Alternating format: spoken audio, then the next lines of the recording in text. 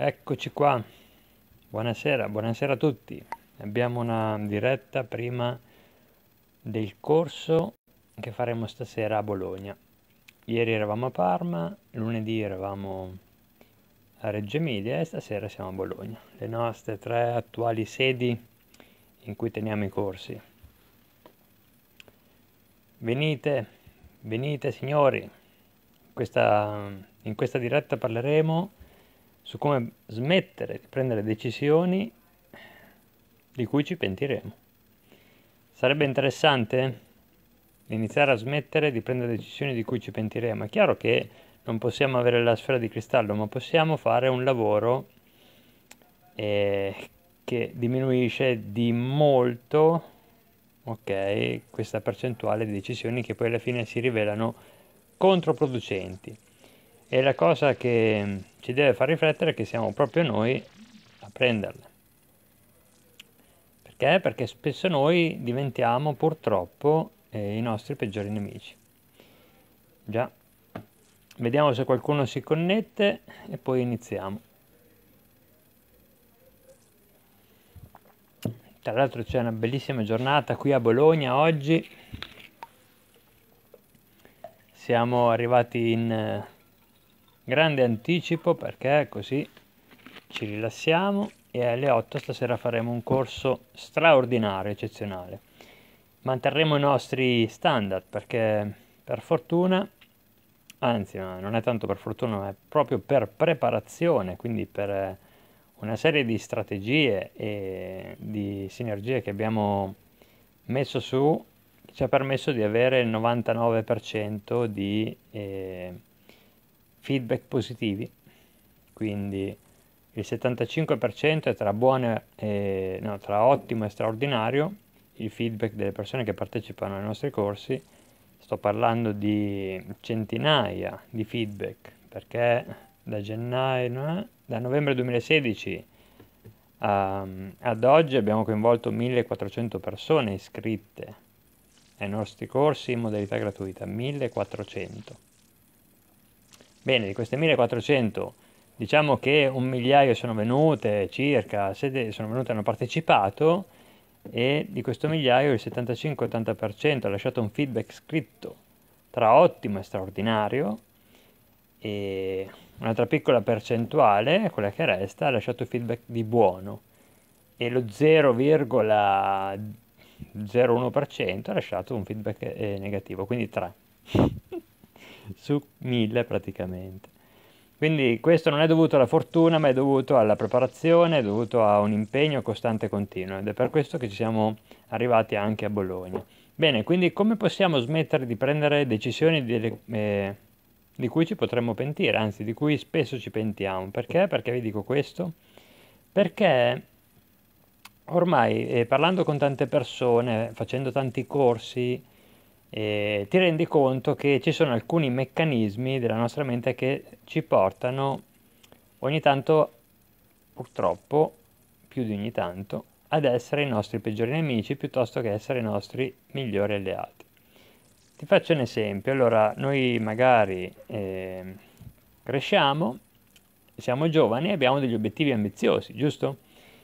Poi iniziamo a passare dalla, dalla scuola, dal mondo scolastico, arriviamo al mondo del lavoro.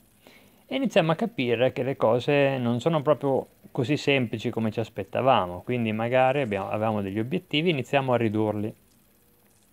E quindi riduciamo. Poi passa un po' di tempo e riduciamo ancora i nostri obiettivi, passa ancora un po' di tempo fino a che i nostri obiettivi ce li siamo dimenticati e, e ci accontentiamo, quindi iniziamo a, diciamo, a rinunciare a tutti quei sogni, quelle, quei desideri, insomma, per noi era una vita proprio che, era, in, che è impensabile da applicare. Perché succede questo? Perché vedi, noi spesso eh, vogliamo obiettivi che, che ci interessano tanto, ma utilizziamo convinzioni e modi di ragionare eh, vecchi, cioè che fino ad oggi non ci hanno fatto raggiungere quegli obiettivi. E quindi qua c'è un paradosso, perché tu vuoi obiettivi nuovi, diversi, più belli, migliori, più importanti, ma facendo le cose eh, che hai sempre fatto. Quindi come fai a aspettarti cose diverse se continui a fare le stesse cose? Vedi, qui, eh, questo modo di agire, pur, di, tante persone, tanti di noi, diciamo, lo hanno vissuto. Quindi continuiamo a fare le stesse cose e ci aspettiamo risultati diversi. Questa è la definizione eh, di follia secondo Albert Einstein. Però è un paradosso perché noi vogliamo obiettivi nuovi, però non siamo preparati a ottenere questi obiettivi. Quindi magari continuiamo a frequentare persone che non ottengono quegli obiettivi. Continuiamo ad avere un modo di ragionare di queste persone, quindi della media delle persone che ottiene dei, degli obiettivi tra virgolette normali, che non sono quelli che vogliamo noi. Noi vogliamo obiettivi importanti, giusto? Vuoi obiettivi normali? E obiettivi normali non, è, non devi neanche fissarteli come obiettivi perché la normalità la vivi. Quindi se tu vuoi qualcosa che non hai mai raggiunto, la prima cosa che devi fare, ok, è proprio iniziare a cambiare il modo che hai di pensare. Quindi inizia a guardare chi stai frequentando.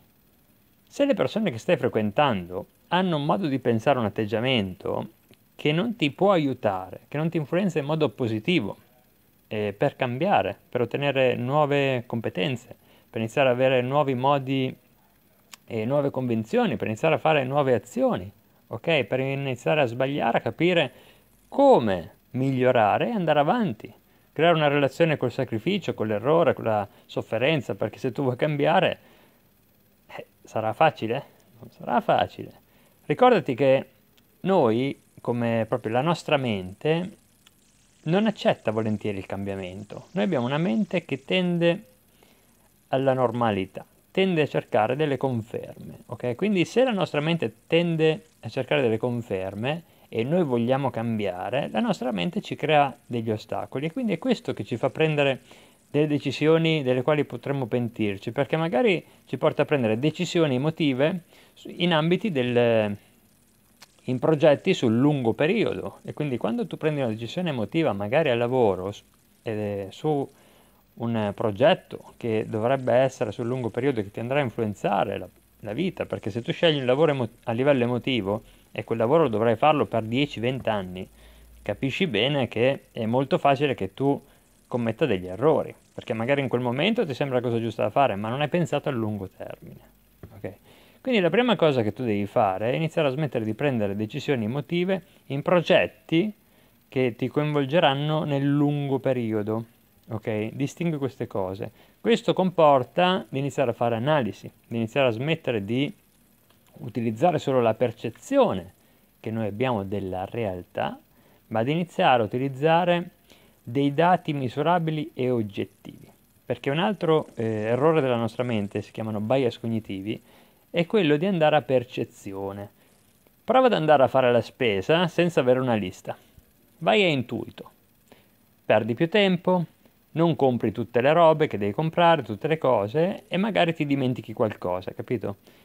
Mentre se tu ti crei una lista, tu sei sicuro o sei sicura che comprerai le cose giuste e ci metterai meno tempo e non dovrai metterti lì a pensare cosa hai preso, cosa non hai preso, eccetera, eccetera. Vedi, questa piccolezza, questo piccolo esempio è per farti capire che come nelle piccole cose quotidiane ci può aiutare una piccola lista, nei progetti a lungo periodo, se tu non ti fissi degli obiettivi, se tu non crei un modo di pensare più analitico, più oggettivo, più misurabile, purtroppo tu non potrai creare le solidi delle basi solide per ottenere degli obiettivi che ti possono fare la differenza a 2, 3, 5, 10 anni. Capisci di quello che, di cui sto parlando? Quindi è per questo che noi andiamo a lavorare nei nostri corsi di formazione molto sull'intelligenza emotiva, molto su come controllare gli stati d'animo, tra virgolette, negativi, ma non sono negativi, sono quelli della sofferenza, del disagio, il disagio che ti crea il cambiamento. Il cambiamento ci crea disagio perché te l'ho detto, la nostra mente tende a trovare conferme, conferme delle nostre convinzioni. Ma se tu hai delle convinzioni che non ti portano ad avere gli obiettivi che vuoi e la mente va a ricercare le convinzioni, e come fai a cambiare? Tu vivrai nel tuo passato, quindi il tuo passato sarà il tuo futuro. Prova a guardare gli ultimi 2, 3, 5 anni che hai vissuto, gli ultimi 2, 3, 5 anni Guarda quali obiettivi, quali risultati hai raggiunto, bene, saranno quelli che raggiungerai al massimo nei prossimi 2, 3, 5 anni. oppure saranno un po' più scarsi perché le cose cambiano e non in meglio. Ti piace questo, questa previs- previsione? Bene, se non ti piace sappi che i 2, 3, 5 anni passano comunque e quindi fra 2, 3, 5 anni potremo trovarci qui a parlare delle stesse cose. Probabilmente io non, farò più le dirette, però magari tu sarai lì che cerchi un video per capire come cambiare. Inizia a fare un'analisi adesso. Perché? Perché noi agiamo in base a due cose, o per ispirazione o per disperazione. Quindi non aspettare di perdere le opportunità che hai oggi, ok? Perché, perché ti dico questo? Perché noi, quando è che capiamo quanto sono importanti le cose, le relazioni, le opportunità che abbiamo? Quando lo capiamo? Quando le stiamo per perdere, oppure quando le abbiamo già perse. Quindi che cos'è che succede? Succede che la, il 93% delle persone in terza età hanno una cosa in comune. Hanno il rimpianto di non aver usato abbastanza quando erano più giovani. Quindi rinviare porta a quella strada lì, a, a quel risultato lì, al rimpianto. Perché fare le stesse cose ed aspettarsi risultati diversi è pura follia. Banale? Sì, fallo.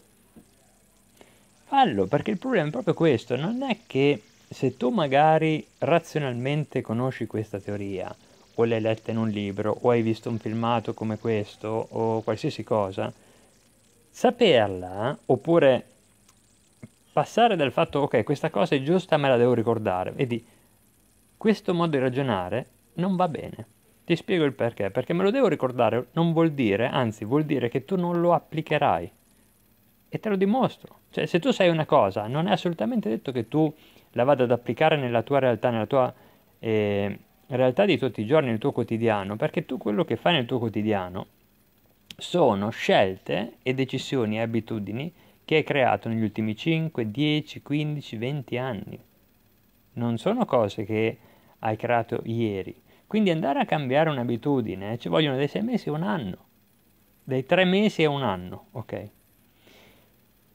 Perché ti dico questo? Quindi se tu vuoi iniziare a cambiare, sai qual è il lavoro che devi fare? Allora ti spiego come facciamo noi.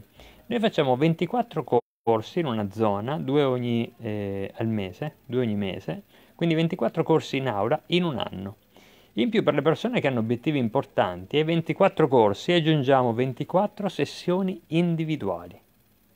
Diventano 48 appuntamenti all'anno.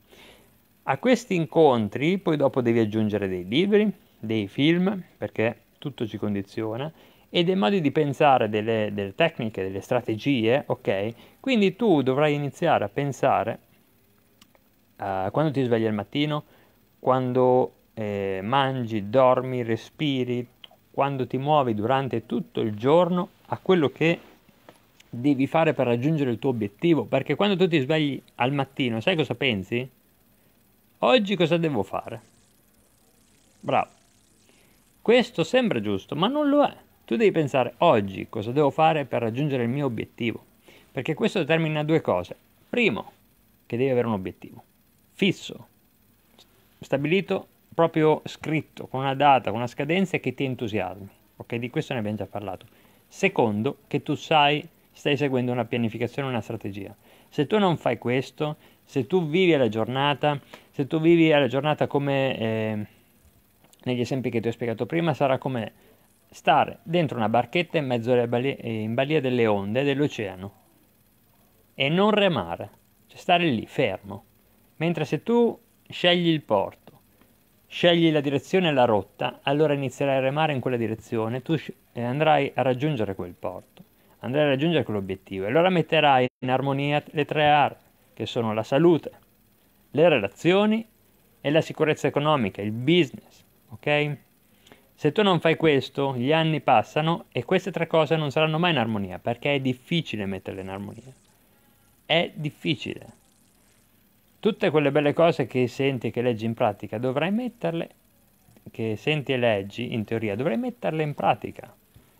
E questo è un lavoro importante. Quindi, come diceva Muhammad Ali, io odio ogni momento, ogni minuto del mio allenamento, ma pensavo, soffri adesso e vivi il resto della tua vita da campione. Questo è il modo di ragionare che hanno le persone che ottengono risultati straordinari.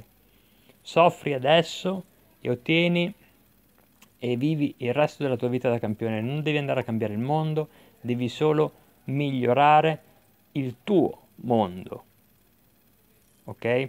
Poi dopo, quando migliori il tuo, potrai anche influenzare quello degli altri. Ma se tu non, non sei a posto con te stesso, con te stessa, non puoi neanche essere d'aiuto alle altre persone.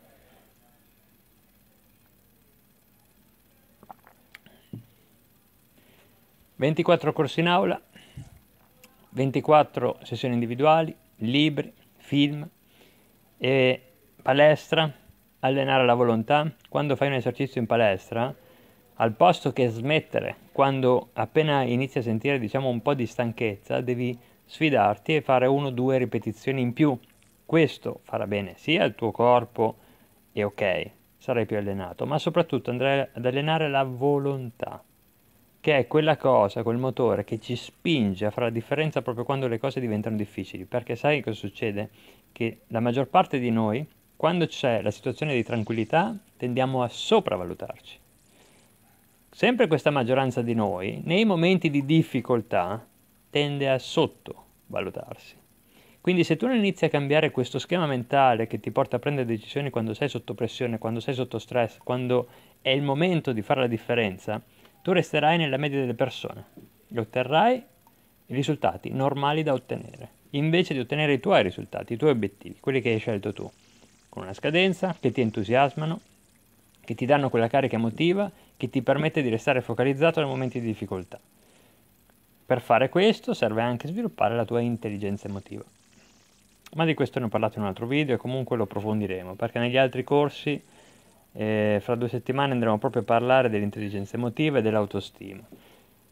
Perché sono fondamentali. Una cosa che devi assolutamente tenere in considerazione è quella di essere coerente con ciò che provi emotivamente, ciò che pensi, dice, fai. Nel senso, quando tu ti prometti una cosa, la mantieni?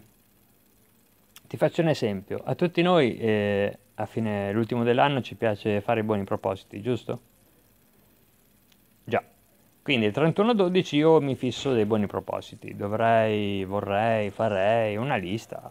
Fumare, smettere di fumare, andare in palestra, dieta, insomma, le solite cose. Togliermi delle abitudini che non mi piacciono, quello che vuoi. Che cosa succede a quella lista il primo gennaio? Quindi poche ore dopo. La rispettiamo? No. Ma la cosa più tragica non è questo. È che noi non ci arrabbiamo, cioè per noi è normale. Quindi per noi è normale fissarsi degli obiettivi e non raggiungerli. Bene, allora ogni cosa che tu fai la alleni soprattutto se la fai in ripetizione. Quindi se per te il canone di normalità è questo, e la tua mente va a cercare sempre delle conferme,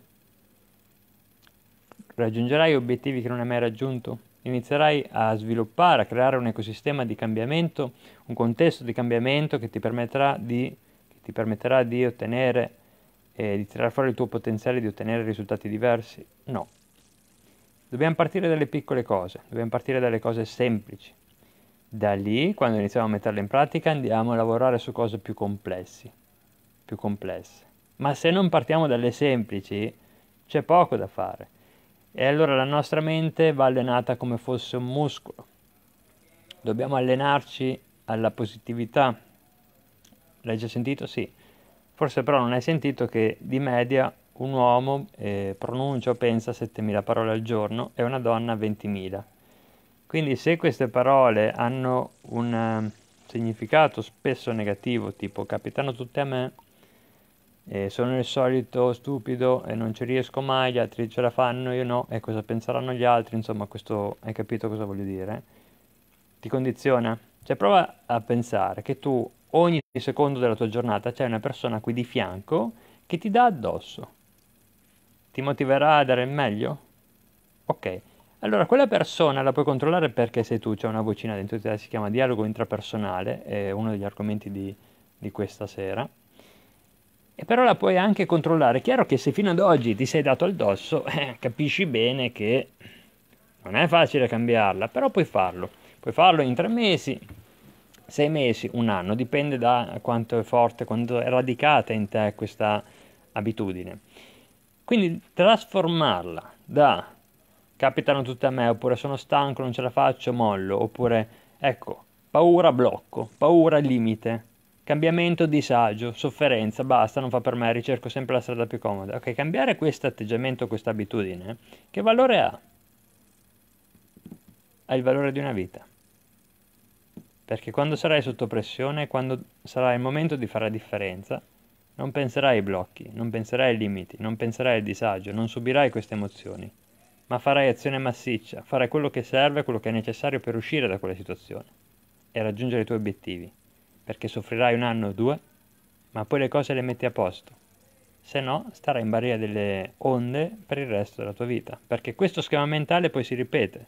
Se non cambi lo schema mentale che hai quando sei sotto pressione, tenderai sempre a mollare perché sotto pressione non sei abituato a tirare fuori il tuo potenziale.